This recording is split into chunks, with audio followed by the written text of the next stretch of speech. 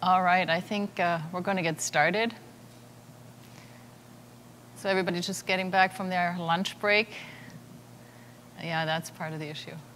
So what are we going to do? Have you um, do jumping jacks or something so you don't fall asleep right now? All right, um, we're actually really excited to be here today. Um, we're from Allianz Germany. Um, this is Ludwig Paulsen. He's a project manager, product owner for uh, our CloudOps team. And uh, I'm the head of department uh, for that same team. And what we want to do is talk to you a little bit about what um, our experience has been um, just making, you know, embarking on this journey in, into these new technologies. And um, I wanted to also say that, you know, we've, we've heard a lot of deep technical conversations um, throughout the last couple of days. And one of the things that we have found, though, is that it's not just about the technology. We'll talk a little bit about the technology, but it was important to us to also talk about all those other puzzle pieces um, that it takes to make the digital transformation for an organization successful. So who runs the cloud? Who runs the cloud at Allianz Germany is CloudOps. Um, that's the team. And yeah, this is our logo. And um, the, the team um, is who made the journey possible. The team started as a very small team. Um, and we'll tell you a little bit more about what that experience was like. But first, I'd like to tell you just a little bit about our company. The Allianz Group is a, is a large insurance company. Uh, we have about 88 million uh, customers worldwide, 140,000 employees, and um, we are in about 70 countries around the world. And um, one of the challenges that we have, I mean, it's a good thing and it's a bad thing. We're 127 years old uh, this year. So the bad thing is that, that what that means, as most of you can probably imagine, is that we have um, lots of IT debt, many, many legacy systems. Um, but the good news is that um, we've always been at the forefront of innovation. Um, we made a choice back in the day to um, be one of the uh, insurance companies with the Titanic project. Didn't turn out so great.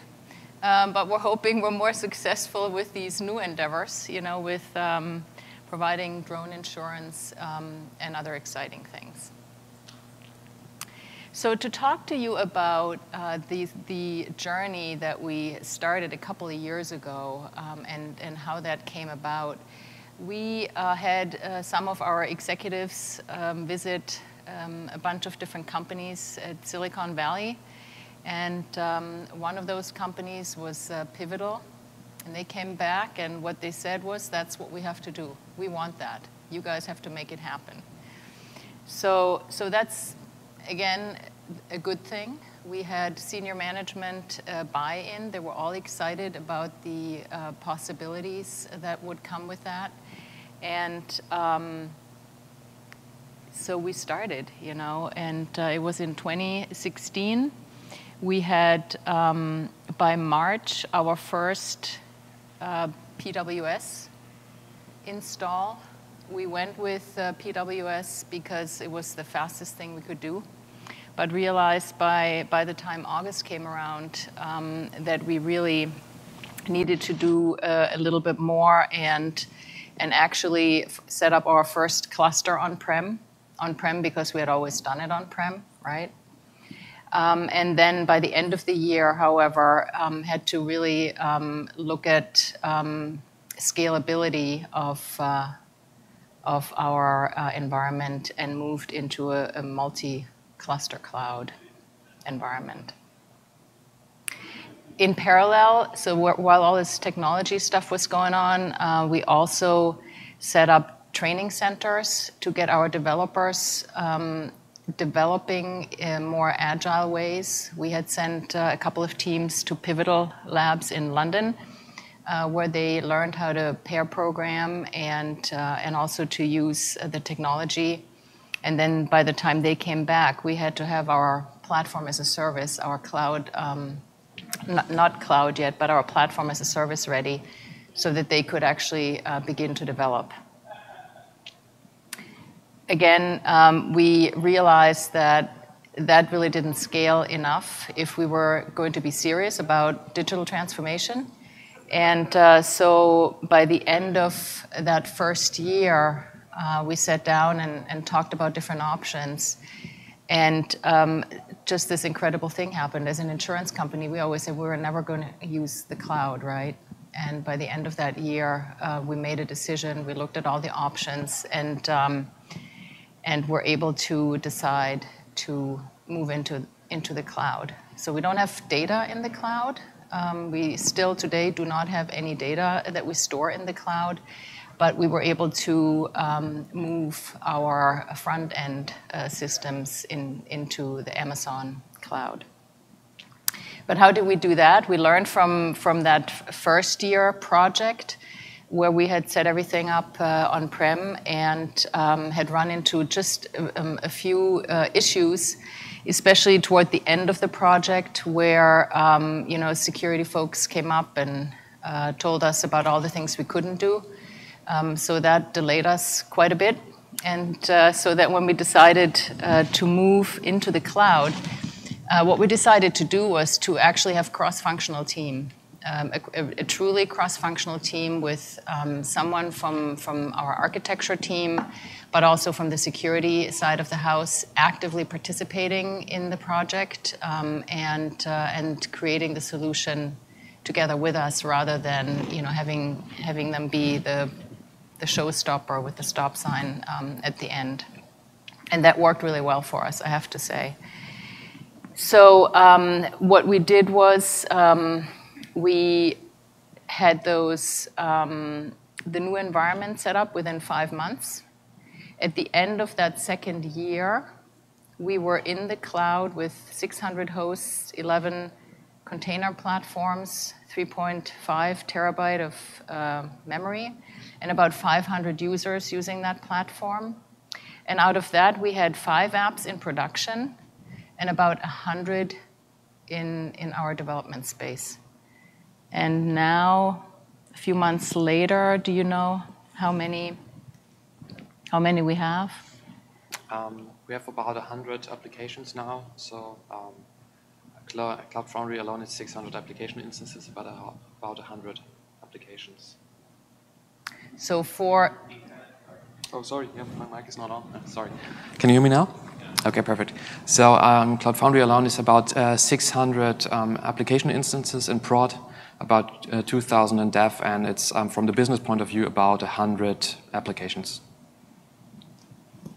So when you think about it, you know, for for a large um, historical insurance company, that was really a huge thing to to not only move into this new technology so quickly, but to also be leveraging uh, cloud technology, um, trying to get this tanker uh, moving and uh, making the organization more agile really many times felt like we were trying to make the impossible possible, but we succeeded. So that's kind of the, the framework. Um, but then um, I, I'd like to talk to you also a little bit about the people factor um, and, um, and really what it meant and, and what, what the major challenges were that we encountered uh, in that space. And, uh, you know, in my opinion, it's really um, a paradigm shift uh, within our organization that we're facing because we need just a different mindset. Uh, we need people who um, are willing to try new things, who especially in an insurance company, we don't we don't like taking risk, right? And so uh, to try new things, to to make mistakes, to learn from those mistakes, those were some of the major challenges, and I'll get into a little bit more detail uh, just um, in a couple of slides from now. So with all of this new stuff and this digital transformation, you know, it, it felt a little bit like it, it might have felt um, for the Beatles when not everybody was on board. Not, not everybody believed that this was really going to be, um, you know, an exciting, successful thing. So as it comes to people, um, our experience was that it, it really is a mindset uh, thing. You know, it takes a new way of thinking, whereas in the past, you know, people were told what to do, how to do it, um, and now um, it was really more about every single person taking responsibility and for us to begin to define the framework and the, and the sort of the, the boundaries within which um, they could actually do that and, and do that safely. Um, and so what we did was we created, um, we ran a bunch of uh, workshops where we defined roles and responsibilities, um, where we talked about um, our mission, what, um, you know, what you saw on that second slide, uh, not just the new uh, team name, but also um, a logo and a mission that went with it. Um, so that they could identify themselves with it. And we actually went from eight internal employees who had been running our um, portal environment to 21 Cloud Ops team members. We took all of the strategic um, initiatives that had been in the hands of external um, consultants and service providers, and they're now all run within that team of 21 folks. So that also means we have some legacy, um, some legacy responsibilities that they still have to cover, um, but they're mostly now focused on um, running this platform as a service and continuing to evolve it and automate it and improve it. And it, it's also about a new way of, of working, of course. So we had to, in the past, we ran long projects, you know, never-ending projects that by the, by the time we're finally done, who knows what was at the end of it, if it was what we really needed or what the customer needed. Um, and now we have the, the team set up in different uh, clusters. Um, so for the different uh, platform topics, it's um, um, we have a we have a cluster that is um, solely focused on all of our legacy core components, and we have a product owner that is in charge of running that.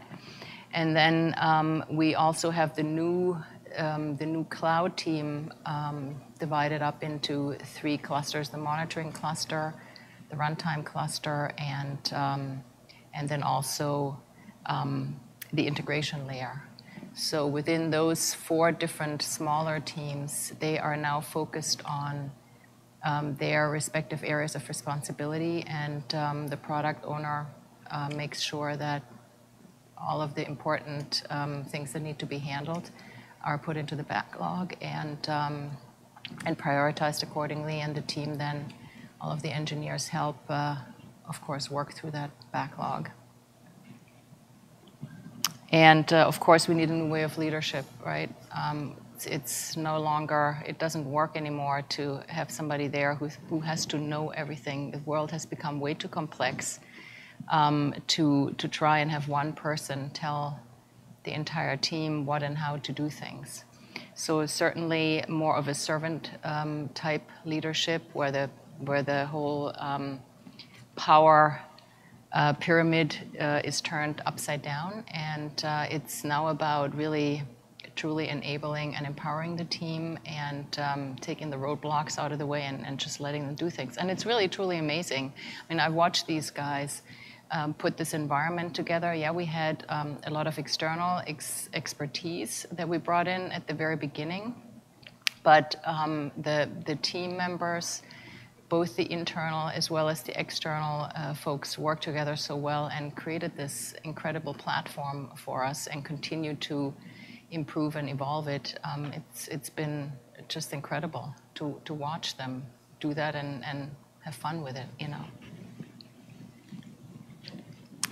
So one of the really important pieces, as I mentioned before, is to to make sure, especially when you have a culture, which I think most companies do, where you know it's it's not really cool to make mistakes, to, um, to make sure there's no blaming, um, that we, um, we take those mistakes and we make sure we learn from them.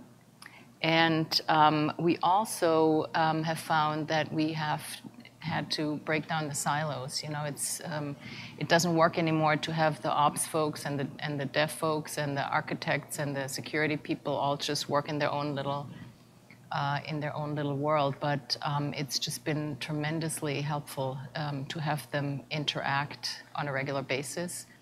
And um, one of the things actually that we've learned, one of our mistakes, was that in the beginning we were so busy setting up this platform um, while the training centers were getting staffed and, um, and teams started developing new apps that we did not interact with them enough. So um, a lot of the stuff that could have been avoided, um, you know, things that they had to redo because they didn't know how to do it properly, um, could have been avoided if we had had more of a present from the beginning and were actually part of those teams or, or at least circling through those teams, having a present in those training centers. But we just couldn't do it all at the same time, you know. So that was definitely a, a big lesson learned. And, um, and, and the other uh, lesson certainly was to try and figure out how to deal with legacy team on, on one side and the new team moving into the new technology on the other side. And initially, the thought was to create two different teams. Bless you. But then we realized, you know, if we create two different teams, it's going to be impossible for those folks who are um, today in charge of the legacy stuff for them to move into the new world at some point and to actually help move the legacy world into the new world and for everybody to begin to get an end-to-end understanding of the complexity of our environment. So we, we decided to create one really large team, which you could argue that's not really the two pizza team that Amazon always talks about, right? But for, for this first phase, um, we decided to just cluster the way I mentioned earlier and have them focus on, on their respective areas of responsibility um, but to keep them as one team so that they could um, interact more and, and take along, you know, the, the legacy folks for the ride. And um, you know, initially we also thought that we'd define this one time and then we know how to do it and then we just go and, and that's the end of that, right? But we realized as, as things changed and evolved and the environment grew, um, we had to adjust things and create those clusters and, uh, and create the different roles and have the product owners um, in charge of the, of the various topics and define the roles of the, of the platform engineer and, uh, and define what it actually meant now uh, to be a platform engineer and how the product owners would then work together and um, exchange um, their priorities so that they all knew what, what each other were working on. So it's an evolving, it's been an evolving process for us and not necessarily, you know, you, you define it once and, and you're done. That was certainly a lesson learned. Um, and one of the things that we've just recently said was that um, not having, having moved from the project team now to more of a product team type setup, um, we realized that now that the project is closed, we don't have enough of a security presence anymore. So we were just doing a couple of things the other day. We, um, as part of a dojo with Pivotal um, that we implemented and um, didn't realize we probably should have should have asked security uh, for sign off.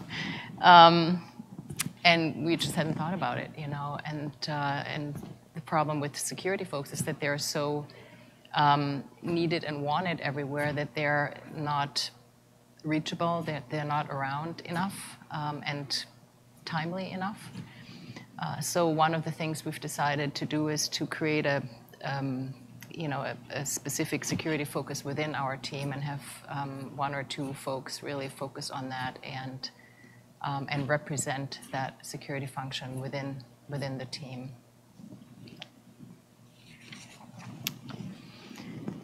So yeah, and th this is the team. Um, you can see on the slide here, you know, some of what I already mentioned, that we moved from um, project uh, manager to these new roles of um, product owner, platform engineer, and so forth. And, um, and that's actually been, been working really well. And here's the, here are the clusters again that I mentioned earlier uh, with the different products that are associated with that. And you can see the monitoring cluster spans both worlds. The, on the left, the legacy world, and on the right, the, the new world. Um, so that's our way of really beginning to pull all of that legacy knowledge um, into, into the new world. So for now, they're focused on their clusters, um, but midterm goal is to get everybody to understand, at least at a, at a superficial level, the entire platform as a service. Thank you. So, um, can you hear me? That's all right. Okay. So I really have to hurry a little now, um, as we'll um, have no worries. 20 minutes already passed, but I think it's it's okay because, um, in our opinion, people is um, obviously the most important part of of this transformation um, undertaking. So, um, coming to processes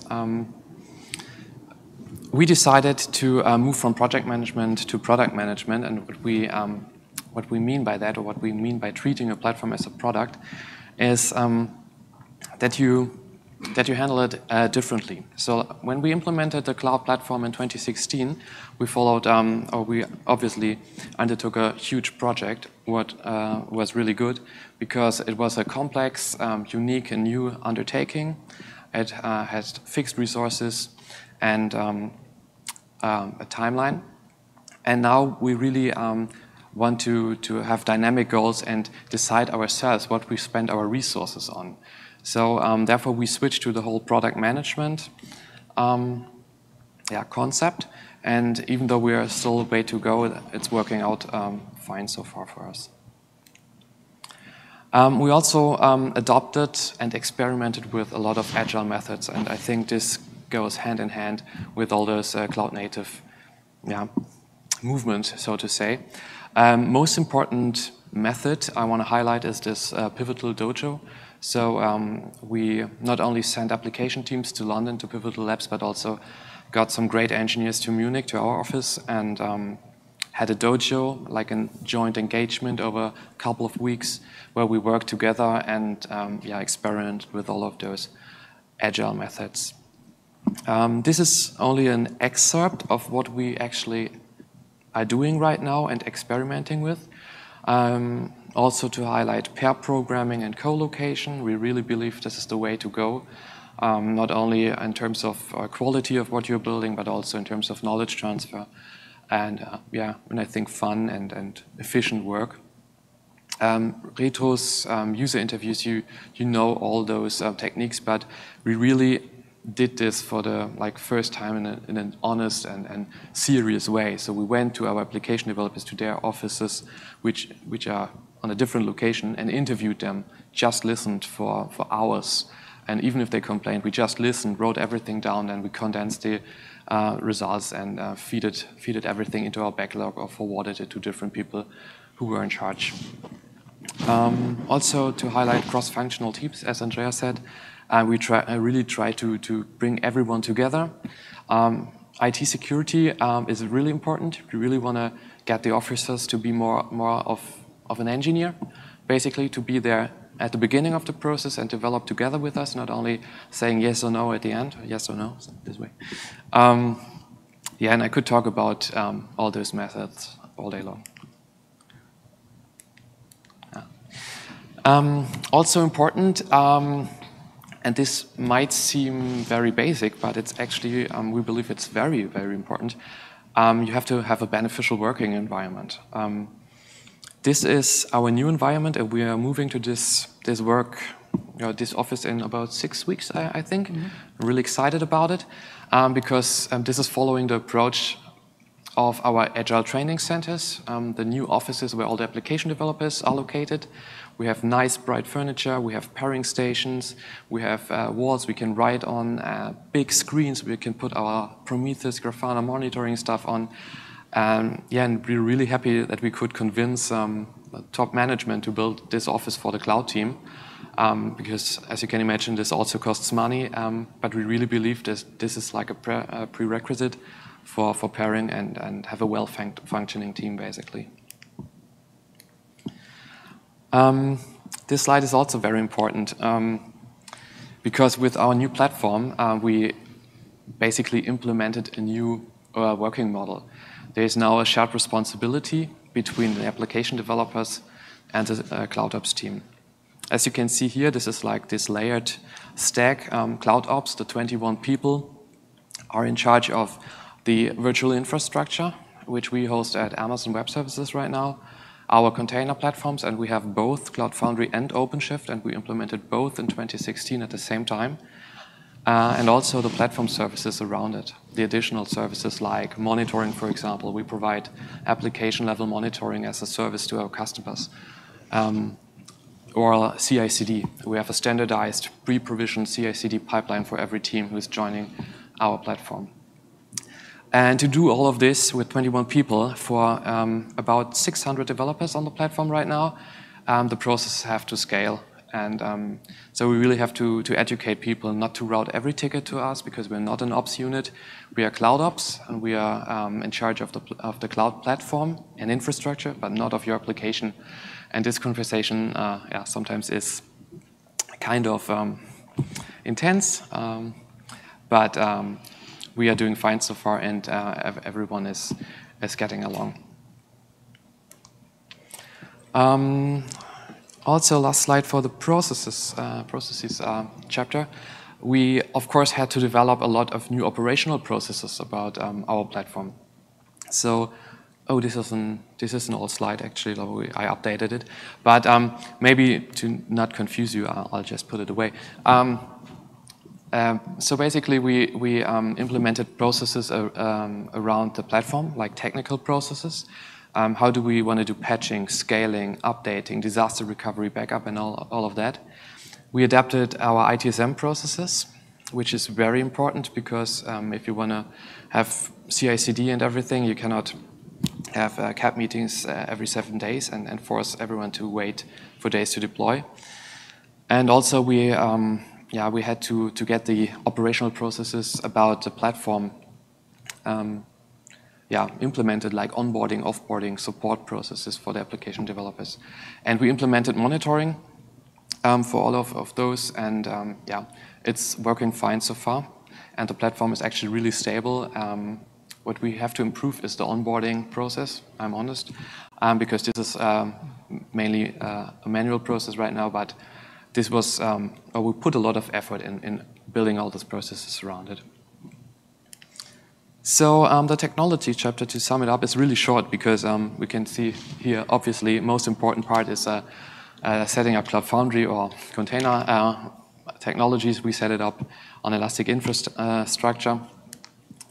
And I really just want to uh, say one sentence about this slide because it's important to us that this new platform is secure because it's a new platform, it's in the cloud. Um, so um, we really want to make sure it's, it's secure. And there's a, a talk about this um, I held last year. It's in German, unfortunately, so I don't know if, if you guys want to want to check it out, but it's, it's, it's on YouTube. And if you want to know more about it, feel free to reach out to me after the talk. Last slide for my part. Um, modern technologies um, we see those technologies, and this is actually, um, yeah, quite the, technologies we implemented in the last 18 months within Allianz. You see there are technologies for container, uh, container technologies, cloud, elastic infrastructure, CI/CD, monitoring, uh, API gateways, and what have you, even operating systems. Um, we brought everything in we brought a lot of technologies in, but I think we found the balance between standardization and individual solutions. And um, also to mention with those technologies being just an enabler, we, um, we are following the rationals or best practices on the right side. Even if we're not perfect in it, we really try to do everything, which you can see on the right side. So hand it over to Andrea to sum it up. Okay. So with all of that, lessons learned and, and success factors, um, from a technology perspective, as Ludwig just said, uh, we're providing a platform for cloud-native apps. Uh, we provide a standardized CI/CD pipeline, fully automated, provide additional services, um, and um, we also follow those best practices, as we just heard. And um, the important piece here is that with technology, just like the processes and the, people puzzle, it's we're not done. You know, we decided to just get started, do the best we can with the first iteration, and we continue to improve and automate and optimize. And every single person who's on that team now, that's what their main focus is, is to optimize and to automate um, and to make not only the technology, but also the processes better. And our external um, folks that have been um, along with us on this journey were, of course, we, we had to bring in some expertise because with all this new technology and only um, a handful of people on the original team, we couldn't do it all uh, ourselves. But um, for this year, one of the main goals was to take that knowledge from, from the external folks and really make sure that the knowledge transfer happens within the first six months of, of this year um, so that the internal, the new team are actually up and running uh, and can support and manage this platform uh, on their own. As far as the processes, yeah, we now um, are focused on product versus project management. Um, we introduce agile methods. We have um, assistants still with that, need some coaching on that. Scrum master roles, product owner roles, all of that is new, especially given that we are operating within the larger organization, and the people around us are also um, just beginning to learn. Um, Pivotal helped out with uh, different uh, projects, dojos, and um, you know, just the work environment um, is definitely something um, that, that's going to make a difference once we can move into the new uh, workspace. And it's really also important uh, for every single one of the team members to be out there, to be positively promoting all of this, to be an evangelist, um, and to, uh, to always you know, create positive interactions with the other folks. As far as the people, new way of thinking, new way of working, new way of leadership, no blaming, dare to make mistakes and, and learn from them. And then another really um, important piece, especially when it came to the recruiting, uh, I think it's a similar situation here in this country. Um, in Germany, it's been really challenging to find the right people um, because everybody's looking for them right now. Um, so what um, has been really helpful for us, first of all, to go through all the different channels, whether it be headhunters or whatever, but also to get the word out there, especially as, a, as an insurance company. You know, people who are into this kind of stuff probably don't think about insurance company. Um, that's not on the top of their list of cool places to go work, right? So to make sure that word um, gets out about what it is we're doing and how many cool things we're doing within the company has definitely helped um, to find, uh, you know, a great mix of people, a very diverse um, team with different backgrounds, different skill sets. But uh, even though it's the ops team, which is where we started this journey, still have them focus on on moving uh, toward more of a development uh, type mindset and inside the company. We can't communicate enough. It always feels like, you know, we, we need to do more of that, but that's the case with, with any change, and to just keep going uh, and to keep pushing it. And that's one of my favorite slides. So, in order to be successful with this whole endeavor, um, in, in my experience, um, it is absolutely critical that you have the top down support. Otherwise, you do nothing but try to create business case papers, right? So you need your top management support in this. You have to also get from the bottom up all of your folks on board, explain why you're doing it, why it's important, why it's actually really an awesome and fun endeavor. And it's not just an IT initiative. This really takes the entire organization. It takes the business, it takes IT, it takes HR, it takes everybody to work together on this transformation of your, of your business. And you really need a business vision um, that tells you where you're headed in terms of digital transformation to make this uh, journey successful, in our opinion. And that's, we're hiring. If you have any questions, you can open it up now. Thank you. Any questions? Mm-hmm.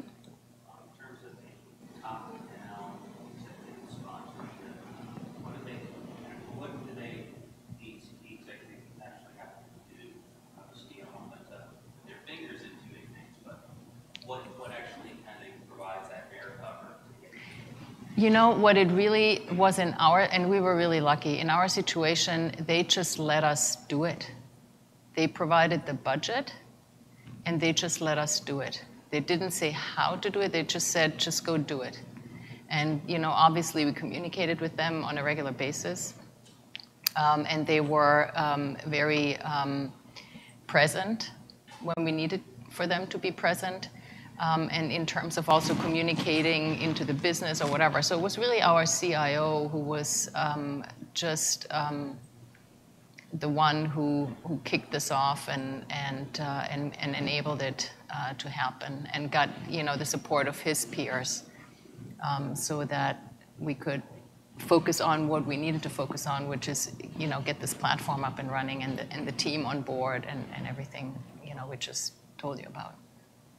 Yeah, you don't want them to, you know, too, too close, but supporting. Yeah, ideally, yes. Yeah. But we had a bunch of other stuff going on at the same time and, and just had to juggle that. But that was certainly one of the main main priorities. Yeah. Mm-hmm. The uh, CIO or mentors present a vision of what they wanted the change to accomplish. Actually, we talked about that as an entire company. So what I mentioned at the very end, you know, to have a vision of a, business vision of what a customer-centric digital transformation could look like, we all actually worked on defining that together. Um, went top down, bottom up, you know, and, and uh, we, we created, and, and then we were also given a, what we call a renewal agenda, um, with different um, areas of focus uh, to ensure that everybody understood what the, what the vision was and the strategy and, and where we were headed. Yeah. Any other questions? Feel free to reach out if you have specific. Yeah.